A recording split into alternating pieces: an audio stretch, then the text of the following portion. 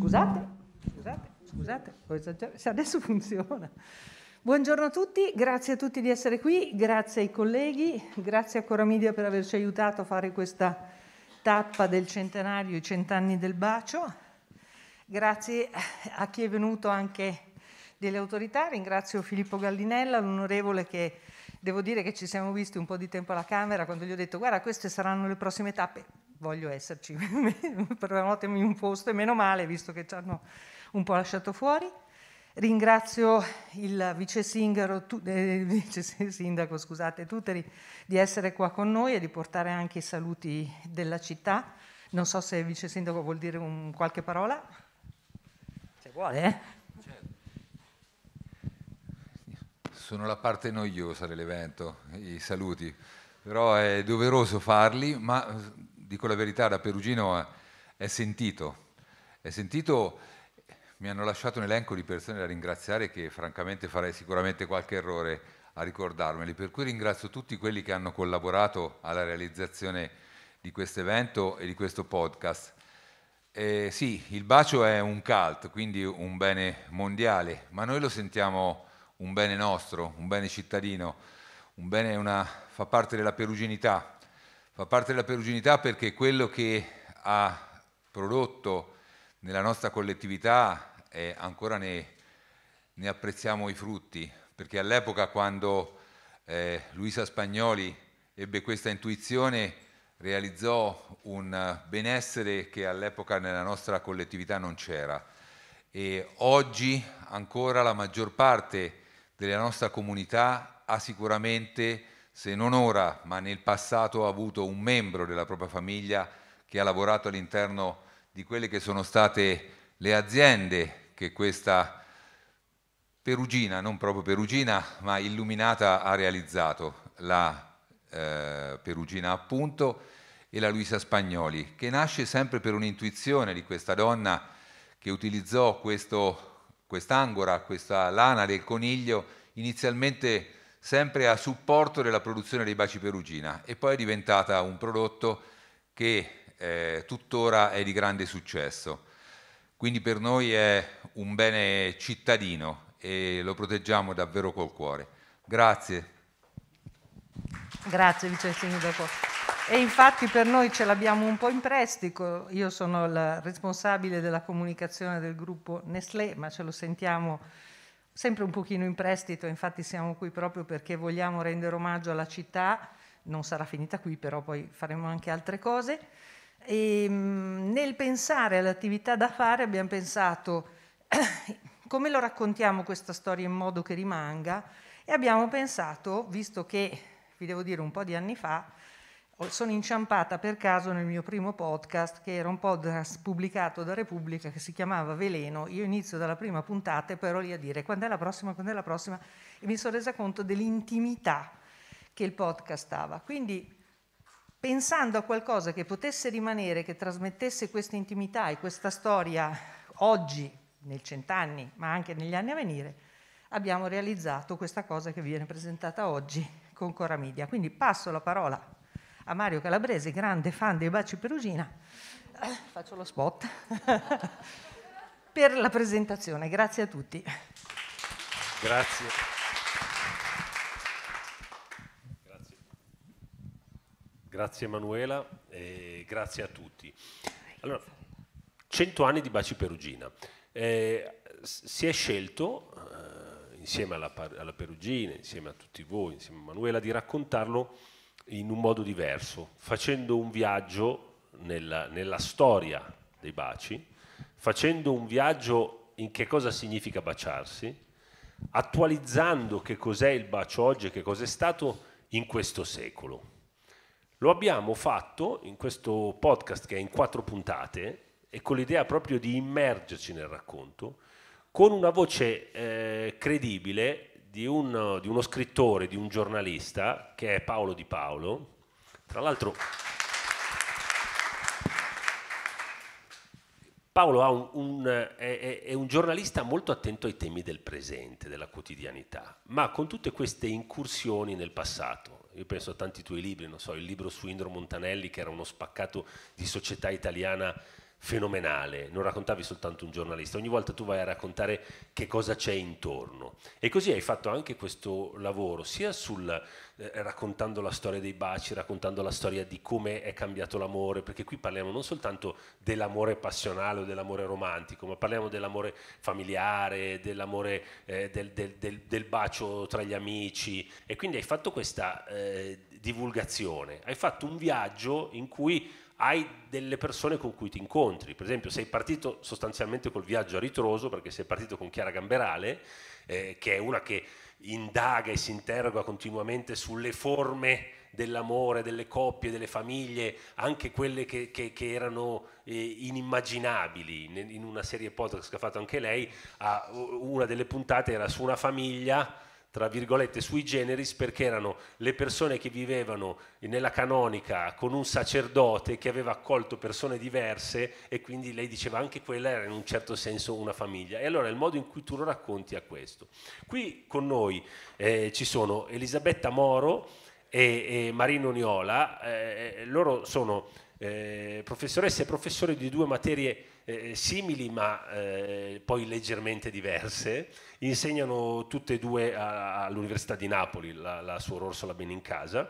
Lei insegna antropo, antropologia culturale e invece Marino, che mi sono onorato per tanti anni di avere come collaboratore quando ero a, a Repubblica, è professore di antropologia del contemporaneo. Loro due hanno scritto insieme un libro per Einaudi che si chiama Baciarsi. Quindi diciamo erano anche due persone ideali con cui fare questo, questo, viaggio. Insieme a noi c'è la responsabile del museo Perugina che è Maria Cristina Mencaroni. Allora, eh, noi oggi vogliamo fare un po' un viaggio con loro, facendovi sentire anche dei, dei brevi estratti da tre puntate del, del, podcast. Tra l'altro le quattro puntate sono disponibili su tutte le piattaforme, eh, fruibili gratuitamente, quindi da, da, da Spotify eh, a Apple, eh, a Google, sono ovunque disponibili e sostanzialmente la serie che si chiama Baci su Baci è una storia del costume italiano attraverso questo secolo di storia dei, dei baci. È un po' un'indagine sul gesto di baciarsi e la cosa che a me ha affascinato di più, che Paolo è riuscito a cucire, che è una serie piena di richiami, rievocazioni, ricordi. Per chiunque, qualunque età abbia, ci sono dei pezzi che riaccendono come avrebbe detto quel signore Proust, le famose Madeleine, eh, che riaccendono dei pezzi del, dell'immaginazione, dei nostri ricordi, tubiamo eh, i, i, i, vari momenti del, delle nostre vite e della nostra storia. Allora io partirei però sentendo il, il primo degli estratti, in questo caso dalla prima puntata della serie podcast. In una ideale cronologia universale e personale insieme, i baci potrebbero funzionare da Madeleine. Le nostre vicende personali, baci veri e sognati, amicizie, amori, pensieri gentili offerti e ricevuti, ma anche la storia del nostro paese, l'evoluzione dei costumi, il cambiamento. È così il cambiamento, perché il modo in cui parliamo d'amore cambia, nelle pubblicità per l'appunto, nelle canzoni. Grazie dei fiori non è brividi, e nei film e nei libri nella nostra quotidianità. Come cambiano ed evolvono anche le storie d'amore, pur restando vive nei ricordi delle persone che le hanno vissute o nelle parole di chi le ha tramandate. Un po' come è accaduto per la passione che ha dato il via a questa storia di baci e di biglietti amorosi, quella tra Luisa Spagnoli e Giovanni Buitoni, che nel 1907 aprirono un laboratorio nel centro storico di Perugia, da cui poi prese vita la Perugina. Partiamo dagli amori e dai baci di oggi per tornare indietro a quelli di ieri, e di 100, 1000, anche 2000 anni fa. Scopriremo che non c'è mai stato, né mai ci sarà un bacio uguale a un altro, anche se ogni giorno ne vengono scambiati milioni. Scopriremo anche che quando si tratta di baci perugina non esiste solo l'amore romantico. I baci vanno d'accordo con tutto, con la passione, con l'amicizia, con il trasporto verso il bello, verso la cultura, con l'amore che lega i genitori ai figli, i nipoti ai nonni, i fratelli, alle sorelle, con l'affetto totalizzante che si respira dentro le famiglie d'elezione. Tanto ascoltarlo mi fa anche ringraziare tra gli altri Sara Poma che è la responsabile di tutta la parte dei podcast branded di Cora, che ha secondo me è una delle persone, se non la persona più capace che ci sia in Italia a costruire serie podcast. Quindi complimenti Sara. Prima di arrivare a te Paolo, però io vorrei chiedere a Elisabetta una cosa che va un pochino più indietro dei cento anni della storia del bacio, cioè dal punto di vista dell'etologia, cioè i, i baci come nascono, cosa sono, lo, lo si è mai capito? Allora, intanto ti ringrazio Mario per, averci, per avermi e per averci invitato qui uh, a Perugia, città che amiamo, anche per i baci e soprattutto per il podcast. Eh, in realtà i baci non li abbiamo inventati noi, questa è la cosa che più ci ha sconvolto facendo, scrivendo questo libro. Li hanno inventati le scimmie, i primati, quindi possiamo pensare qualche milione di anni fa, non cento anni fa. Cento anni fa nasceva il bacio più famoso del mondo, ma eh, le scimmie hanno in realtà inventato questo modo di collegare la bocca della madre con la bocca del figlio, perché?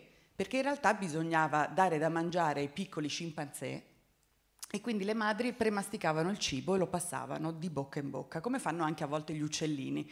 Però, siccome le scimmie hanno le labbra, le labbra sono molto più avvincenti quando ci si avvicina e quindi a un certo punto, in un qualche momento che non sappiamo della storia evolutiva, le madri hanno capito che avvicinando la bocca, anche senza passare qualcosa, le labbra del piccolo ricepivano qualcos'altro, cioè un messaggio, una, una passione, un desiderio, attivavano qualcosa, un grande piacere.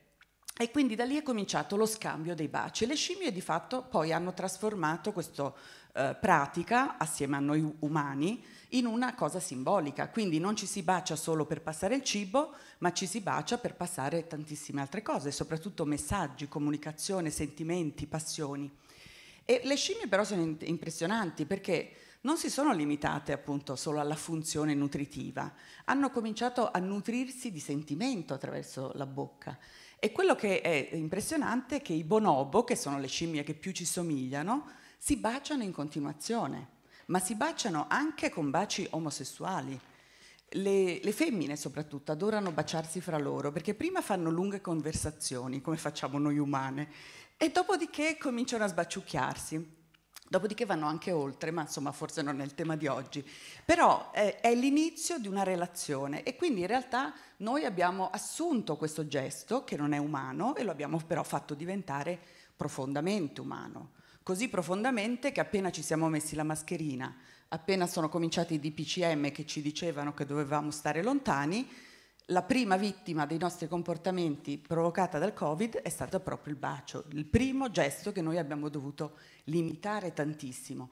Forse ricorderete che due Pasque fa il Presidente del Consiglio disquisiva se parenti, affini, conviventi, amanti, fidanzati potessero incontrarsi oppure no perché la questione qual era? Si sarebbero scambiati baci e bacilli.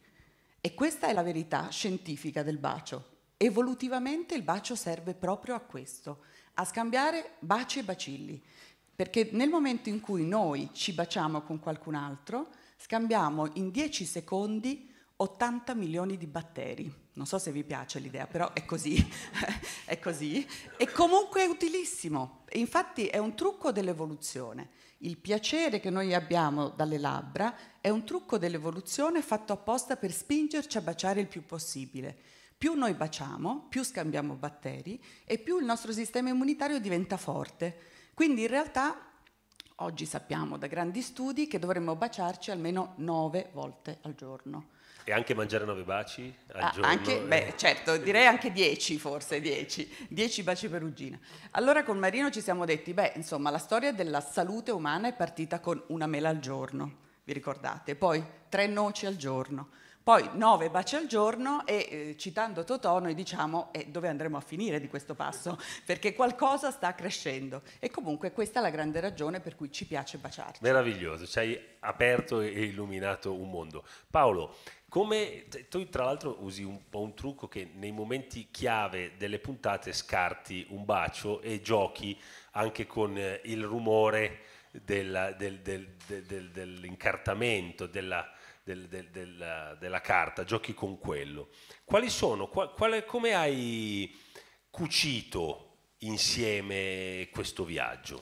Ma un po' quello che dicevi, cioè abbiamo tentato di capire come il bacio perugina fosse entrato nelle vite di tutti in questo secolo, quindi effettivamente tutti i viventi e coscienti in Italia hanno memoria, e non solo in Italia, hanno memoria di aver almeno ricevuto, condiviso, scartato un bacio. Mi è venuta questa idea che ho condiviso subito con Sara di usiamo il cartiglio, perché è ovvio che il cartiglio è ciò che lo rende così specifico, così diverso da altri prodotti eh, di quel genere, e quindi questo cartiglio che porta delle parole. E allora, da un certo punto di vista, il legame era proprio questo, già stabilito nei fatti dal gesto di scartare un bacio e leggere. Bacio, come diceva anche Elisabetta, come forma di comunicazione preverbale e poi intanto tutte le parole che stanno intorno a questo, a questo gesto così semplice, così intimo e però pure così complesso perché la, l'espressione stessa primo bacio ci piomba anche nell'esitazione, nella timidezza, non è che baciare sia sempre facile, no? Ecco, allora questo, questa stagione ci ha reso difficili i baci, li abbiamo rimpianti, però esiste nella testa di ciascuno anche un film, magari anche poi Marino e Elisabetta ci torneranno, un film della nostra vita con le scene tagliate come il nuovo Cinema Paradiso, dei baci che abbiamo dato, di quelli che non abbiamo dato. E quindi abbiamo pensato in queste quattro puntate di muoverci proprio su due assi l'asse della storia dei baci perugina, l'asse della nostra storia. Io nella clip che si è sentita parlavo di cronologia universal personale, che è un gioco che ho fatto in un romanzo appunto di, di, un po' di anni fa che si chiamava Dove eravate tutti, dove tiravo una linea del tempo che cominciava con la nascita del personaggio e andava avanti fino alla sua età adulta e mettevo i fatti della vita del mondo nella parte sopra, i fatti della sua vita nella parte sotto e mi chiedevo che relazione c'è tra i fatti della vita del mondo e la nostra vita sentimentale, affettiva. Ecco, il gioco è stato un po' questo, attivato anche nei cortocircuiti emotivi proprio dal ricordo di pubblicità, di jingle, appunto tu dicevi tubiamo, ma sono tanti momenti in cui anche soltanto, e questo nel podcast sarà molto divertente, viene fuori qualcosa della nostra stagione precisa, della nostra adolescenza, della nostra tarda giovinezza, della nostra età adulta, eh, le pubblicità di Natale, cioè evidentemente si è costruito una sorta di eh, immaginario. Questo immaginario è stato popolato dalle storie che anche questa, eh, questa, questo oggetto in qualche modo ha, ha, prodotto. Io come ultima cosa posso dirti che mi sono molto divertito non solo appunto a cercare dettagli, perché abbiamo ripercorso in lungo e largo la storia anche con l'aiuto eh, di Maria Cristina, abbiamo visto il, il, museo, insomma erano tantissime cose che tiravano dentro da D'Annunzio appunto a Luisa Spagnoli, incrociavano parolieri, poeti, artistiche di volta Vittorio Gasman, che hanno prestato Frank Sinatra, che hanno prestato il loro volto e baci. Parallelamente mi servivano però degli esperti, appunto, e quindi gli antropologi sicuramente erano fondamentali. C'è una grecista che è Eva Cantarella, una grande classicista che addirittura ci rimanda alle radici più classiche, eh, Osculum, di, anche Marino e Elisabetta ne parlano alle nominazioni del bacio, e poi una scrittrice che fa più o meno quello, quel mestiere e ha cercato di sondare invece i sentimenti e di vedere che cosa vuol dire baciarsi nel XXI secolo. Ti voglio chiedere una cosa, sembrerà una domanda strana che faccio a tutti, ma voi quando scartate un bacio, quando leggete il cartiglio, perché per esempio io devo fare le due cose rigorosamente separate, cioè io prima, non, perché se penso che se faccio, non, non, ne faccio bene nessuna delle due, io per esempio prima mangio il cioccolatino, quando è completamente finito, solo a quel punto, negli anni poi ho iniziato leggendolo qua, adesso lo leggo qua, eh, lo leggo, allora volevo chiedere a voi, voi cosa fate? perché ci sono tante scuole di pensiero. Marino? Eh, io faccio come te, Mario, anche perché eh, l'amore è una questione di lentezza su queste cose e, e, e, i preliminari sono fondamentali, come mi insegnate. E quindi prima mangio e poi spiano il cartiglio, perché spesso esatto. quindi va stirato, poi lo leggo qualche volta contro luce, dipende dalla luce che c'è e quasi sempre sono molto contento perché poi le frasi sono belle, a cominciare da quella più celebre di tutte, no? che il bacio è un apostrofo rosa fra le parole t'amo.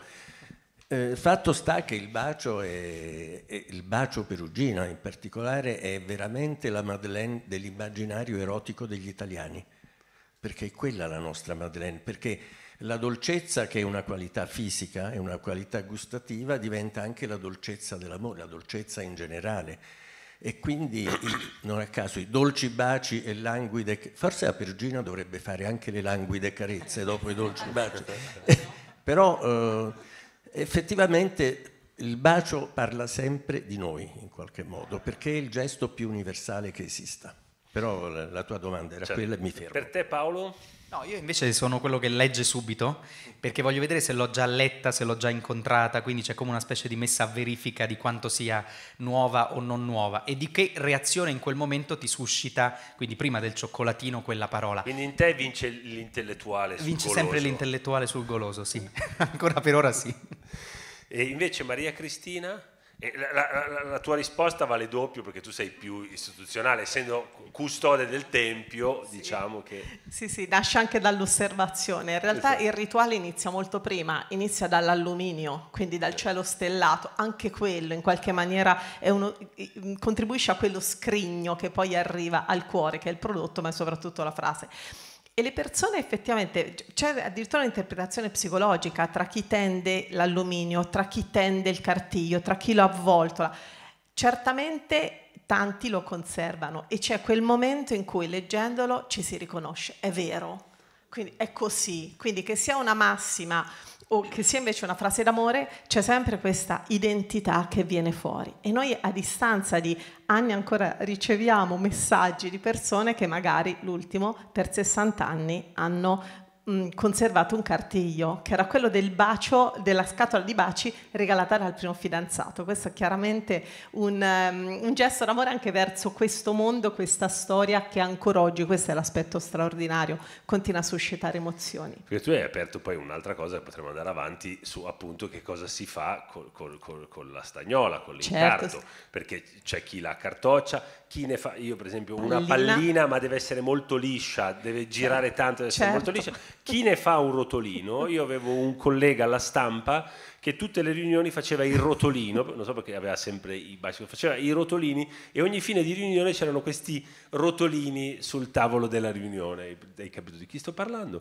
E, e- e- oppure c'è chi li stira invece, non so per farne che cosa li stiri, se pensa di riutilizzarli oppure se voi avete un programma di restituisci e poi ogni 10 ottieni un bacio gratis, non so se esiste una, una politica di questo tipo.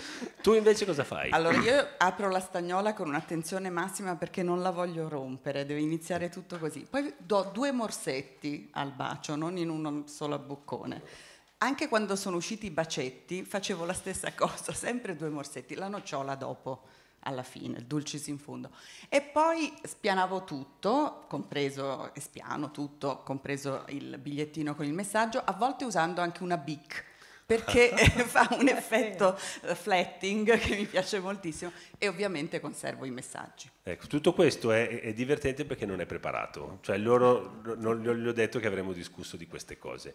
Ed- Ma Marino, volevo un attimo una cosa, visto che tu hai in mano il tuo libro e hai ripercorso temi che, che fanno parte del, del vostro eh, libro, che ci racconti un attimo la, la- la storia del, del bacio in senso più universale. Lei ci ha dato la partenza antropologica, invece che, che cos'è il bacio nella- nel- nella nostra civiltà? Il bacio è, come diceva Elisabetta, è un gesto di nutrizione che diventa un gesto di passione. E in questo passaggio c'è forse tutta la storia del bacio.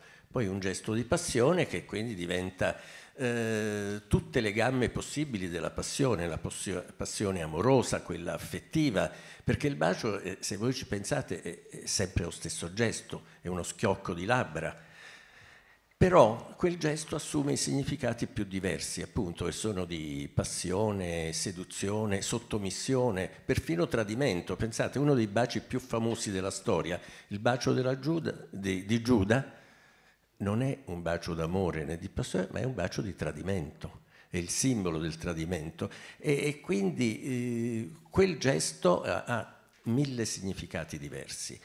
Noi chiamiamo tutto con una sola parola, altre civiltà invece, prima di noi, i latini, i greci, usavano più parole perché loro sapevano che dire bacio non basta, tant'è vero che i latini usavano basium, da cui il nostro bacio, osculum, che era il bacetto che si dà ai bambini, il bacio affettuoso, e il savium, che era il bacio di passione forte, no? quello con la lingua, il, eh, quello che, come dice Isidoro di Sviglia, che era un bacchettone come tutti i padri della Chiesa, si dà alle prostitute, non è vero?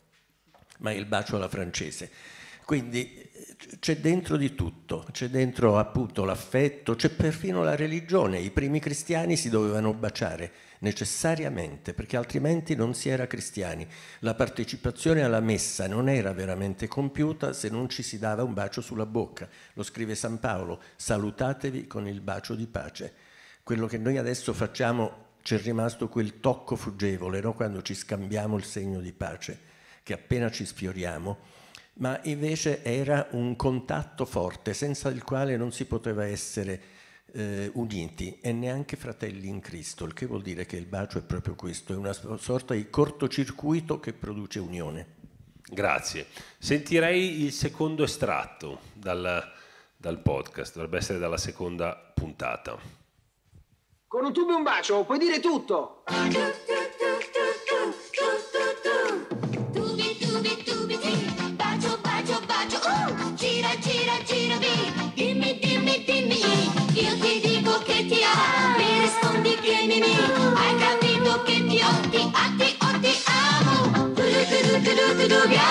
C'era, ricorderà di sicuro, il cuore degli anni Ottanta. Un decennio che dopo una stagione turbolenta e cupa sembra votato alla spensieratezza. È un'illusione? Chissà. Di sicuro è un periodo che a posteriori ha generato una grande nostalgia. Un benessere diffuso, la sensazione di andare incontro a occasioni di rinnovamento, di trasformazione, a una vita in cui anche il relax e il divertimento hanno il loro posto. Discoteche, villaggi vacanze, una sorta di interminabile estate, bella e luminosa, come quella del 1982, quando l'Italia vince i mondiali di Spagna. Tubiamo, dice giocosamente la pubblicità dei baci perugina. E in jeans bianchi e t-shirt, un gruppo di ragazzi sorride al ritmo del jingle che evoca la particolare confezione, il famosissimo tubo. Un modo per giocare con le parole, il tubare entra nel linguaggio comune proprio grazie alla pubblicità dei baci e per rivolgersi a un pubblico più giovane. È una piccola rivoluzione comunicativa che negli anni Ottanta ha una sequenza fittissima di tappe televisive e di jingle inventivi, destinati a fissarsi nella memoria collettiva. Beh, bellissimo, quella roba lì fa subito venire un, una gran nostalgia, almeno per chi diciamo, ha più di 25 anni, qui dentro due o tre hanno più di 25 anni. E, e Paolo, que, che, che, cosa sono, tanto quanto è rimasto di quell'immaginario? E avendo fatto tu questo viaggio, eh, eh prima abbiamo trovato Gasman, poi parleremo, eh, e poi c'è questo, quanto, quanto di questi eh, eh, pezzi secondo te hanno segnato e restano?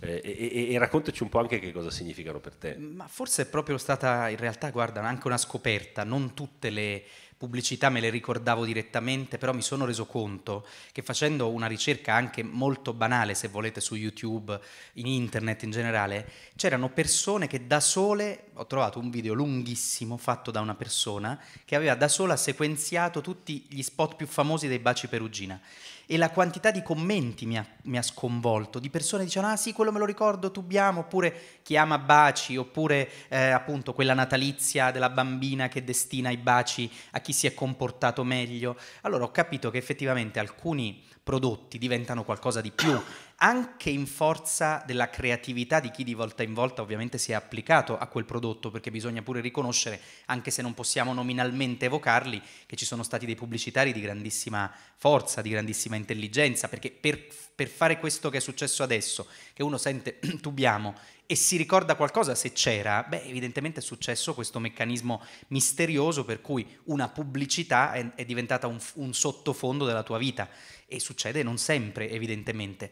Poi il punto interessante è che proprio perché i baci hanno avuto grandi testimonial, spesso queste loro fisionomie, Gasman che gioca mm, eh, preoccupandosi di fare la pubblicità, appunto dicevo Frank Sinatra, eh, volti anche naturalmente meno popolari, però sono entrati dentro un disegno, ti direi questo, di narrativa, cioè come se queste non fossero solo pubblicità ma fossero dei racconti. E questo sta secondo me ancora già nell'intuizione eh, che presiede pure alla nascita del cartiglio, perché se ci pensiamo, eh, l'idea che tu hai un cioccolatino, e questa è un'intuizione che appunto si deve a buitoni e spagnoli, quindi proprio ai primordi, no? L'idea che tu hai un cioccolatino, il cioccolatino lo consumi, ma restano delle parole, è queste, questo tipo di pubblicità è come se avessero una gittata più larga del consumo dell'oggetto. Non voglio dire, adesso esagerare in sovrastrutture o nobilitazioni, però è davvero successo un po' questo, no? Al punto che, questo non lo sapevo, alcuni spot, in particolare questa stagione felicissima degli anni Ottanta, hanno avuto una tale fortuna che sono stati riproposti anche in epoche molto più vicine a noi, come se non avessero perso, cosa che invece spesso succede alla pubblicità, la loro capacità evocativa a chiedere a Elisabetta una cosa. Tu hai citato, eh, per esempio, il significato dei baci nei latini. Se, se recuperiamo un attimo l'etimologia sì. della, della, parola. Sì, i latini usavano tre parole. Uh, in effetti, quella che usavano più spesso era basium, la più generica, che viene però dal greco, bascaino, che significa sussurrare. Di fatto in, in, moltissime culture non ci si bacia toccandosi le labbra, ma sussurrandosi sulle guance o vicino al naso. Quindi questo è il gesto, diciamo, l'avvicinamento è il grande tema. Quindi da questa parola bascaino viene basium, che è appunto la parola che noi, diciamo, lingua romanza italiana, abbiamo preso dai latini. Ma i latini usavano moltissimo osculum, Osculum era il bacio che si dava ai bambini, il bacio d'affetto, e questa parola è rimasta nell'italiano, ma solo in matematica. Le rette si possono osculare quando si incrociano e si baciano. Ed è interessante, quindi è un tema solo rimasto matematicamente dentro il nostro linguaggio. Poi invece c'è l'altra parola, savium, da suavium, quindi il bacio di seduzione, dove c'è appunto la soavità, il sospiro dell'altro, come diceva un grande poeta, tra le, braccia, tra le labbra degli amanti si incontrano due anime, no? quindi è il savium. Quelle, non a caso l'anima nell'antichità era la psicae, cioè era qualcosa di impalpabile, no? il soffio e quindi il basium, il, l'osculum e il savium raccontano tutto questo. Ma c'è un altro termine che eh, ci ha molto incuriosito perché pensavamo che il bacio alla francese l'avessero inventato i francesi. Invece non è così, i greci già lo usavano questo termine e soprattutto praticavano e, questo E come lo chiamavano loro? Cataglottisma, cioè il bacio di lingua. C'è una pagina merav- meravigliosa di Aristofane nella grande opera Le, Le nuvole, in cui improvvisamente c'è un contadino, un pastore ricco, che racconta di aver sposato una giovane donna bellissima di città però e racconta la loro prima notte di nozze. E durante questa notte lui dice io davo di mosto, aveva alzato il gomito, ero vestito di lana e insomma ero grossolano. Lei invece era bellissima, elegantissima e dava di lingua. E quindi il cataglottisma è un, un bacio di grandissima seduzione che appunto solo le donne raffinate nel mondo classico sapevano dare. Meraviglioso. E io farei una cosa, eh, sentirei, no, prima di sentire eh, il nuovo estratto, avete citato Vittorio Gasman più volte, allora mi fa venire in mente il, eh, il cinema. E allora c'è anche un tema del bacio sullo schermo, del bacio nel cinema con un tema anche di censura del bacio. So che Marino su questo tu lo racconti anche in una del, mi pare nella terza puntata del podcast. Esatto, sì, c'era eh, intanto il cinema senza baci non sarebbe il cinema, è la vera e propria fabbrica del bacio. Eh, il cinema comincia con un bacio, già nel 1895 Thomas Edison, l'inventore della lampadina, produce un cortissimo, dura poco più di un minuto, che si chiama The Kiss ed è un bacio interminabile, è tutto lì. Il New York Times scrive se questo è il cinema è meglio che muoia subito per la sua immoralità, poi non ci ha preso per fortuna, però eh, negli anni 20, dagli anni 20 fino agli anni 60, pensate per 40 anni negli Stati Uniti i baci erano sottoposti a censura, c'era un disciplinare, il cosiddetto codice Hayes dal dal senatore che l'aveva proposto che, so, che, stabiliva che un bacio non potesse durare più di tre secondi. Voi immaginatevi tre secondi di bacio, eppure la storia del cinema ci ha lasciato dei baci memorabili, come quelli di Hitchcock in Notorious, per esempio, dura più di tre minuti. Come fa Hitchcock che per non incorrere nel codice dice a Cary Grant, Grant e Ingrid Bergman datevi un bacio di tre secondi? poi allontanatevi un po', sussurratevi qualcosa. Vicinissimo, poi altri tre secondi e così via. Con questo tira e molla riesce a tirare 3 minuti e 40 secondi, il bacio più lungo della storia del cinema, un bacio che poi diventa un paradigma anche per Woody Allen, no? che quando in prova c'è ancora Sam misura la sua uh, capacità seduttiva proprio su quello. E, e poi eh, prima ricordava Paolo anche quella scena finale, la sequenza finale commovente di Nuovo Cinema Paradiso, quando il protagonista rivede, ripercorre la sua vita come in moviola proprio alla luce dei baci più famosi della storia del cinema, baci censurati anche in quel caso lì. Paolo, eh, tu hai anche fatto un viaggio nei, nei cartigli nelle frasi, nella scelta delle cose. Ci, ci, racconti anche questo? Sì, anche lì c'è stata un'evoluzione. Ci sono gli intramontabili, per quello dicevo che può capitare più volte nella vita necessariamente, soprattutto se si frequentano molto i baci, di ritrovare le stesse frasi, da Baudelaire a Prévert, è, è ovvio che ci sono i classici intramontabili, però l'intelligenza di chi poi ha lavorato con i baci nei decenni è stata proprio quella di aggiornare il lessico sentimentale, la proposta eh, del, delle frasi nei cartigli. A, a, spesso, cosa che è stata frequente negli ultimi anni, chiedendo anche delle frasi inedite a cantautori, a scrittori, scrittrici e questo mi ha molto divertito perché dialogando appunto con Marino, con Elisabetta, con Eva Cantarella, con Chiara Gamberale, per esempio con la Gamberale facciamo proprio questo gioco all'inizio di scartare i baci e di vedere che succede e se uno li prende anche sul personale un po' a volte, no? per cui quella giornata ti vuoi sentir dire qualcosa sulla tua vicenda in quel momento amorosa. Infatti lì che è tipico di Chiara Gamberale che è scrittrice che come dire guarda gli uccelli nel cielo per capire come andrà la giornata, eccetera, eccetera, lei dice se io ho una domanda, anziché andare dai tarocchi o sì, dai infatti, cine, eccetera, eccetera, cioè, vedo, scarto un bacio e vedo se c'è una risposta lì che mi esatto. sta rispondendo alla domanda. Però poi vedevo anche che noi un po' qualcosa l'abbiamo tagliata, evidentemente. Vedevo che lei poi voleva comunque il cartiglio giusto, quello che le dicesse. E quindi continuava a scartare sì, finché non trovava quello che le dava così, ragione. Abbiamo scartato cinque baci fino a che ha detto ma adesso Chiara ti va bene questo perché sembrava sempre che la risposta non andava bene, quindi diciamo questo l'abbiamo un po' così accorciato. Però è divertente, ci dice qualcosa anche di questo, no? di come quelle parole hanno, portano con sé o un modo così classico, così trasparente, così inscalfibile, Baudelaire come Prévert, ci dicono qualcosa che non riusciamo a sentire deperibile Oppure c'è tutto un uh, racconto che ha bisogno appunto del, del, dell'innervamento della contemporaneità, cioè hai bisogno di capire, e questa è una domanda che a Chiara ho fatto proprio esplicitamente, visto che si interessa ai sentimenti, è cambiato il modo di parlare di, d'amore? Certo che è cambiato, ma che parole usiamo, che metafore usiamo?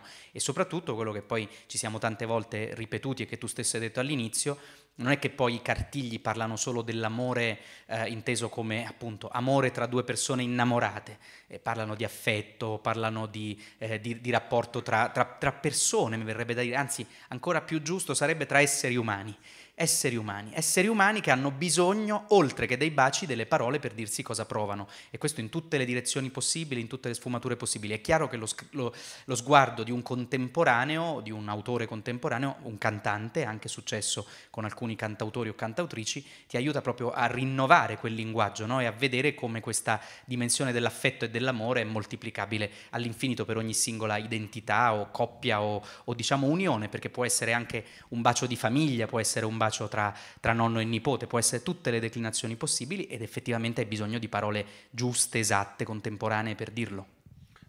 Maria Cristina, faccio una domanda magari a cui è impossibile dare risposta, eh, non lo so. Ma voi avete un archivio di tutti i cartigli che sono usciti? No, non di tutti i cartigli, anche perché i cartigli molto spesso, soprattutto le frasi dei classici, sono ripetute nel tempo, però abbiamo un archivio di cartigli e i primi cartigli, quelli del 22, addirittura sono numerati, quindi c'è addirittura abbinata una promozione.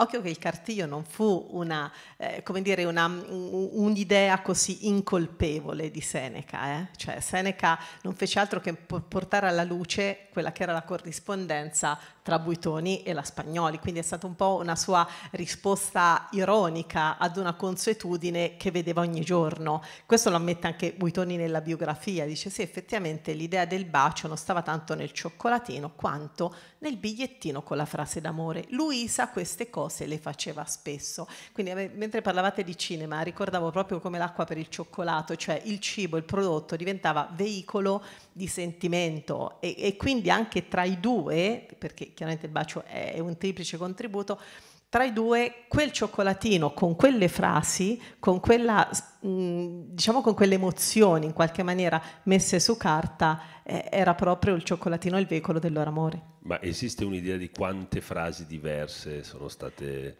pubblicate in cent'anni? Non fino a questo punto, però in ogni epoca più o meno, in ogni periodo anzi, oggi chiaramente non è più Seneca che studia le frasi, ma sono agenzie che ovviamente hanno la, la, la gestione di questa parte del patrimonio dei baci, però in ogni momento ci sono almeno 150 frasi diverse aperte anche al contributo dei nostri, anche dei nostri consumatori, degli appassionati, nonché dei VIP, la serie eh, Autografi d'amore. Quindi è chiaro che il cartiglio eh, fu questo mezzo straordinario che recepisce e interpreta il cambiamento. C'è sì. una frase che è, è nella top ten che è la, è la, frase più ripetuta, più riproposta. È la, il famoso Cyrano, quindi Rossa è l'apostrofo eh, rosa messo tra le parole ti amo. E, c'è, anche, sì, sì, scusa, e c'è anche un cartiglio che ci crea gli incidenti diplomatici con la, con la Santa Sede, perché Seneca, essendo un, ehm, veramente un provocatore, inventava cioè, scrive un giorno meglio un, uovo, un bacio oggi che una gallina domani, firmato Seneca. Quando questo cartiglio arriva nella scatola dei baci diretta alla Santa Sede, si interpreta quel Seneca, il filosofo romano, e quindi c'è un'invettiva della segreteria papale che chiede a Giovanni Buitoni chi fosse quel pazzo che avesse attribuito a Seneca filosofo una frase tanto sconcertante. No, quindi... per, per te eh, c'è una frase, Marino, che più di tutte le altre eh, rappresenta il bacio? Sì, forse è una frase di Shelley, che è quella che dice che l'anima incontra l'anima sulla bocca degli amanti, sulla bocca ah, degli... perché eh, ci dice tutto del bacio, ci dice che il bacio è un modo di, di darsi, ma è anche un modo di dirsi, e quel, è l'anima che i greci non a caso la chiamano come un vento, animos, è un soffio, quel soffio è il respiro. Allora se l'amore possiamo intenderlo come una grande persona, il suo respiro è proprio il bacio, attraverso quello. E quindi per questo è una frase che, che trovo davvero molto bella, perché ci, probabilmente ci dice tutto in sintesi.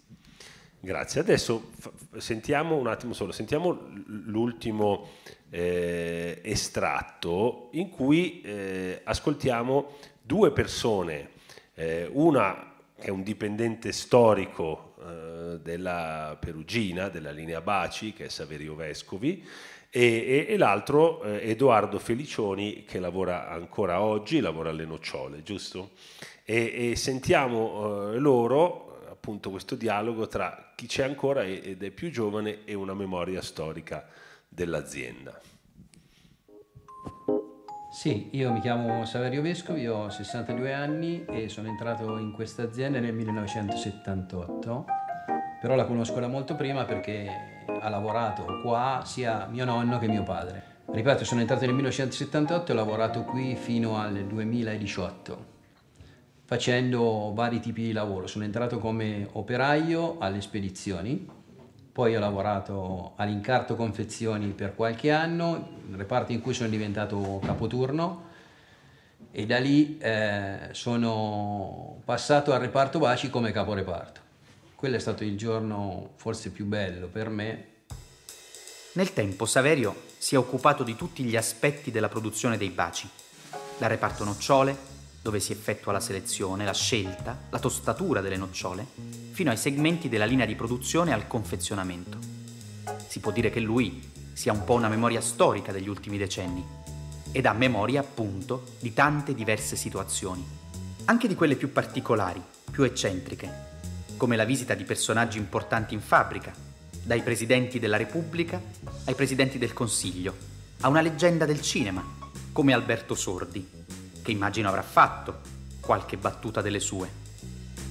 Qualche battuta è stato un continuo, è stato veramente simpatico. Poi fece la, si fece una specie di assemblea in, in mezza, ha parlato lui, poi rispondeva alle domande delle persone. Sono anche le foto, credo. Sì, sì, sì, sì. Ci sono, ci sono. Sono anche esposte nel bel museo storico della Perugina. Saverio ha il piglio del capo rigoroso, ma voglio capire com'è stato lavorare con lui e lo chiedo non all'interessato, ma a un suo collega più giovane, Edoardo.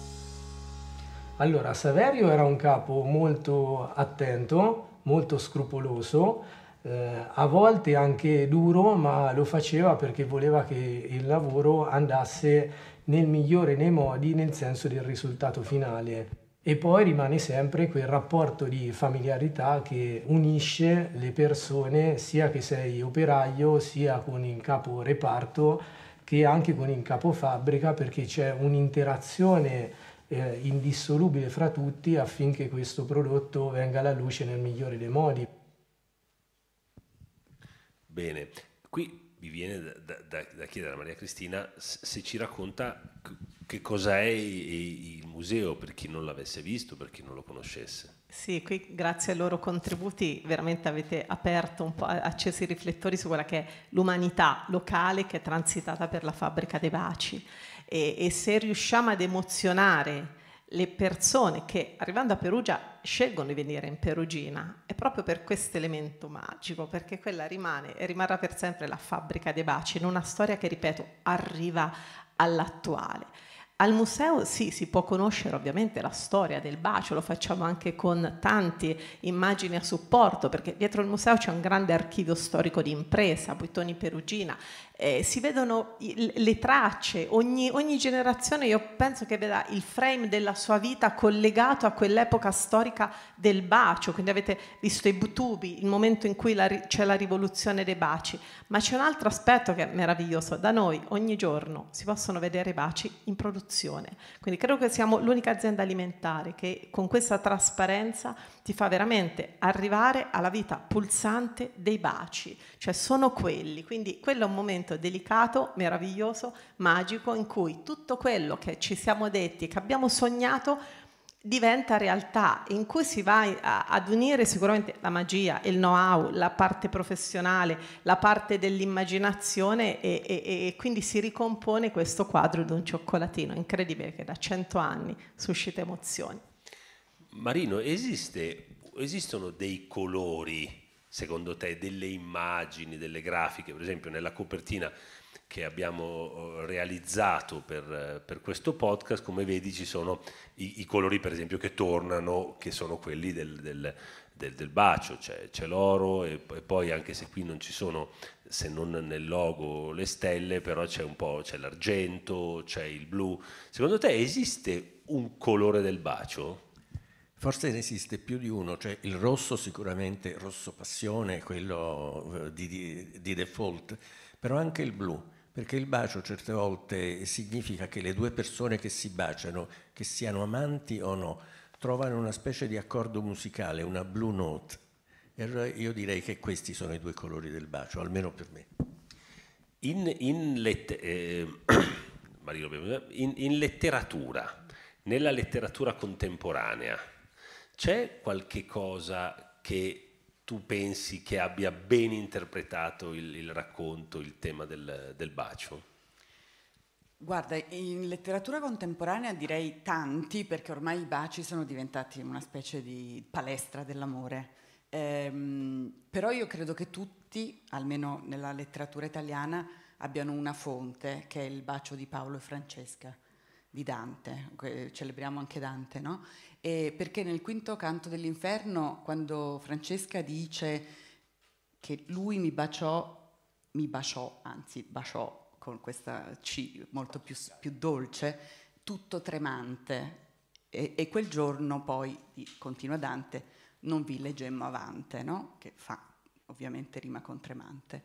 Ecco, io credo che quel bacio abbia ispirato tutta la letteratura almeno italiana, sul bacio d'amore. È un bacio di tradimento purtroppo, perché quello lo sappiamo, non è il bacio fra due eh, marito e moglie, sono due cognati che in teoria non dovrebbero avere questo sentimento, ma stanno leggendo di un altro bacio di letteratura straordinario che è quello scritto da Chrétien de Troyes più o meno un secolo e mezzo prima, dove Lancillotto e Ginevra, altri due amanti che non dovrebbero, perché anche loro non sono marito e moglie, però in realtà sono travolti dall'amore e l'amore passa proprio attraverso questo incontro di labbra. Io credo che quelli sono i grandi baci che hanno ispirato tutto quello che noi oggi vediamo. E oggi però c'è un'evoluzione perché eh, abbiamo addirittura dei baci immateriali, smaterializzati, come quelli, non so se vi ricordate quel film Hair, dove eh, una persona si innamora dell'OS, cioè del computer, di un cervello, di un'intelligenza elettronica. E questa donna, Samantha, virtuale, ad un certo punto diventa la partner erotica di quest'uomo che quando deve cominciare a sedurla dice, beh, forse io adesso ti toccherei la pelle, ma la pelle lei chiede che cos'è, lui spiega che cos'è la pelle, che cos'è il tatto e poi dice e ti bacerei. E quindi si passa dal bacio più materiale, tutto tremante di Paolo, a un bacio smaterializzato ma tutto tremante di questo giovane uomo che si innamora di un'intelligenza artificiale. Quindi in realtà io credo, ecco, se posso aspirare a scrivere un cartiglio, mi piacerebbe tantissimo, lo confesso, direi che il bacio è il gesto più unisex dell'amore perché si è veramente uguali in quel momento, non ha nessuna importanza chi si è, quanti anni si ha, eccetera. è veramente il bacio più uguale, è il gesto più uguale, perché non c'è, c'è chi inizia, c'è chi finisce, ma noi non sappiamo, ci mescoliamo e in quel momento ci perdiamo piacevolmente. Marino? Sì, volevo solo aggiungere che il bacio che raccontava Elisabetta, quello di Hair, quel film bellissimo di Spike Jones, è di fatto la versione tecnologica contemporanea di un bacio famoso, quello di Galatea, di Pigmalione e Galatea, che è un bacio cioè che dà vita a, che, a ciò che non ha vita. Galatea è una statua e lui la ama talmente, se ne innamora e dopo averla baciata improvvisamente quella statua si anima, esattamente come l'intelligenza artificiale acquista un corpo e quando lui dice la parola ti bacerei, lei dice, il cervello artificiale dice, che cosa mi stai facendo? Improvvisamente avverte di essere viva. E proprio forse questo è il tema del bacio, è l'amore che trasforma, per questo il bacio anche nella fiaba no? trasforma sempre. Eh, I ranocchi ridiventano principi, le principesse si svegliano eh, con buona pace di chi adesso dice che i principi sono degli stalker perché non hanno chiesto il permesso alle principesse prima di baciarle. Lascerei, in, andiamo in conclusione, chiederei a Paolo se ci fa una lettura di un ultimo estratto ed è eh, accompagnato da un sottofondo musicale a cura di Andrea Girelli. Grazie Andrea.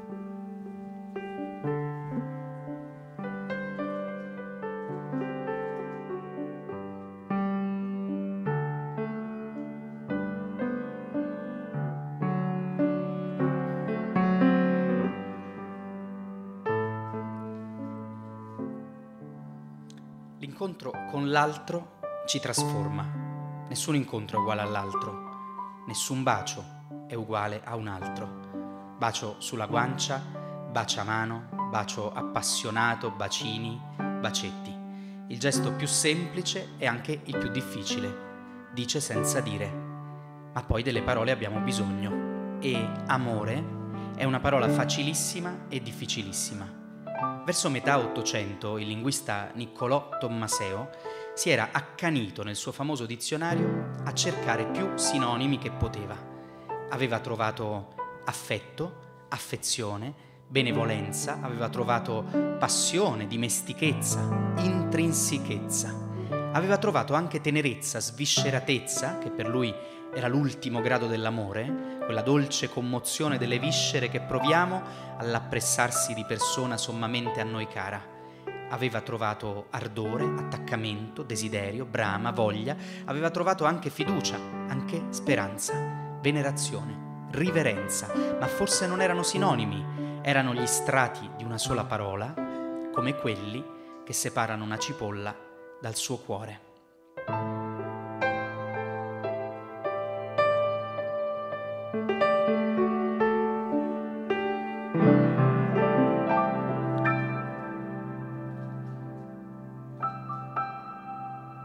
Studiavo storia sui banchi di scuola, confesso che non l'ho capito subito. pensavo che tutto si riducesse a una sequenza di date, di frecce, che da un evento portano all'altro, cause, conseguenze, guerre, trattati di pace. Poi con il tempo ho capito che c'è un'altra storia, quella che racconta la vita di ogni giorno, quella che illumina la storia delle persone, i loro sogni, le loro passioni, i loro desideri, le canzoni che hanno ascoltato, i film che hanno amato e anche ciò che decennio dopo decennio hanno assaporato, condiviso. Si può rifare la storia di un intero secolo scegliendo un dettaglio, quello giusto. Si possono ripercorrere cento anni di storia italiana attraverso un simbolo, cent'anni di baci. Tra uno spot e l'altro passano eventi, vicende pubbliche e private, cambia il paese, cambiano le generazioni. Si può arrivare all'altro ieri, all'oggi volendo, gli anni venti appena cominciati, difficili ma pieni di speranze, o riavvolgere il nastro fin dall'inizio, quando negli anni venti del Novecento, ruggenti ma tempestosi, nel cuore d'Italia, a Perugia, Luisa Spagnoli ha una delle sue innumerevoli intuizioni.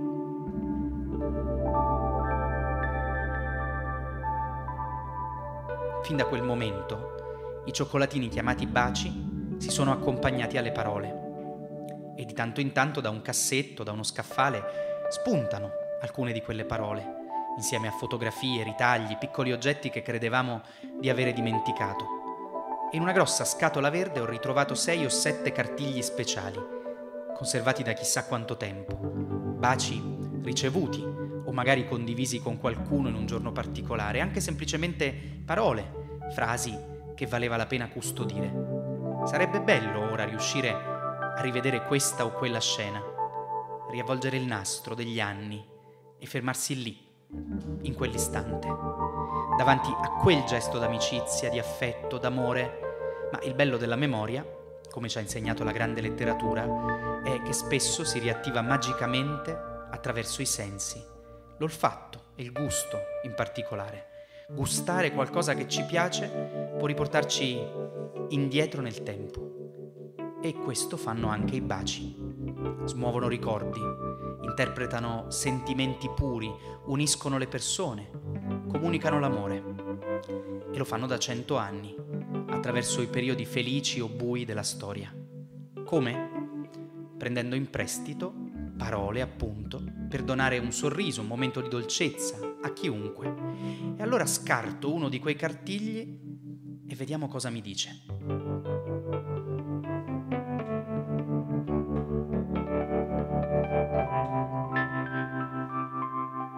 quei giuramenti, quei profumi, quei baci infiniti rinasceranno.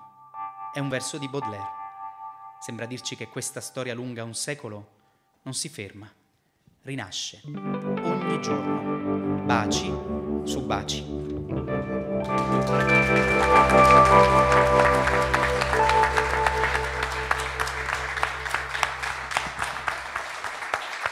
Grazie. Complimenti Paolo, grazie, grazie di tutto. Ascoltate la serie e da oggi su tutte le, le piattaforme, Baci su Baci, quattro puntate. Grazie Maria Cristina, grazie Marino e grazie Elisabetta. Grazie a tutti voi e buon pomeriggio.